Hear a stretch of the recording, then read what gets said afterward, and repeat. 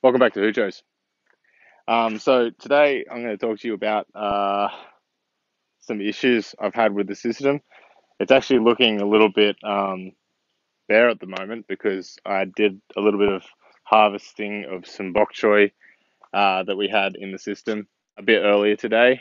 So um, I also had to remove some of the roots uh, from the pumpkin vine uh, just to free up some space. And uh, yeah, so an issue that I've been having with the system uh, recently is my capsicums.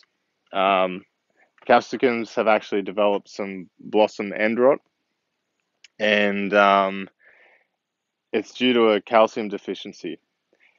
Now, it's pretty easy to diagnose the problem, but in a system like this where everything is fed from one reservoir, it's actually not as easy to treat because I don't want to add too much calcium to the system to treat one plant when it will actually throw the balance of the whole system.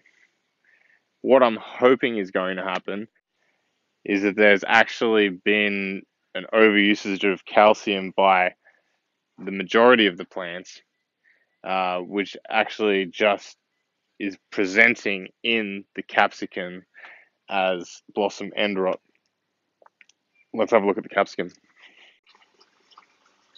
So here you can see um, where the blossom end rot is, is occurring on the capsicum. Um, and it's on multiple plants as well. And here's some more.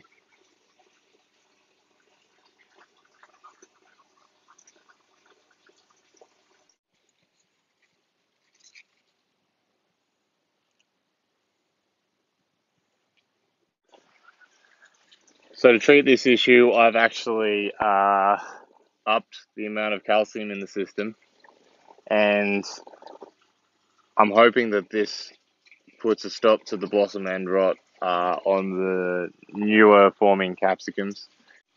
I'll let you know how the ones that are damaged already go and whether they can be saved. I'll also have to monitor the system for uh, signs that the other plants are getting too much calcium. Uh, and this is just another one of those teething issues going forwards with this experiment. Uh, this is probably one of the reasons why people stick to fruiting plants and leafy greens in separate systems. Uh, and I'm glad that I could find that out for myself. But uh, we'll see how it goes. Alrighty. See you next time.